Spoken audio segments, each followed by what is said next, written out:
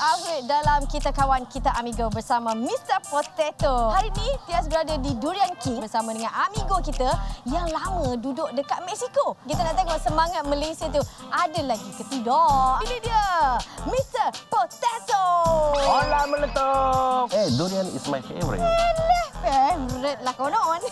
Kita nak tengok favorite ke tidak. Oh. Ah, jom, jom, jom, jom, jom.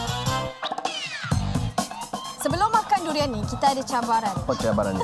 Kita nak tengok Mr. Potato pandai ke belah durian. Tias, Tias. Ada ada pernah nampak tak itu signboard? Don't mess with Melaka. Yang besar tu. Si. Ha, nah, Uh, awak tahu tak uh, ni Mr. Potato ni orang Melaka. lagak betul, lagak. Kita mulakan cabaran kita. Ha. Satu, dua, tiga. Tak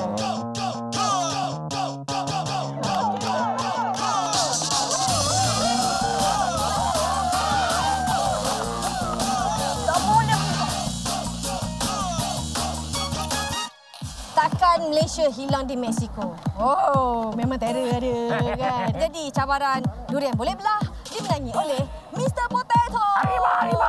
Ya, ya, ya, ya. Semenjak Mr. Potato ada dekat Durian King ni, oh memang makin ramai orang dekat sini. Ha, Eh, jadi memang betul lah Mr. Potato ni memang meletop. Macam mana Mr. Potato dapat idea durian dengan Mr. Potato chip? Sebenarnya mak Mr. Potato yang um, buat idea dah. Mak bawa Mr. Potato cik. Lepas tu ada durian. Lepas tu dia kata kalau makan semua dengan kami tu semua sedap. Oh, kalau macam tu kita nak layan makan durian dengan Mr. Potato. Ah, Oh. yang penting kita kawan, kita amigo. Kembali kepada Nabi dan Lofa di studio Amigoku melecak.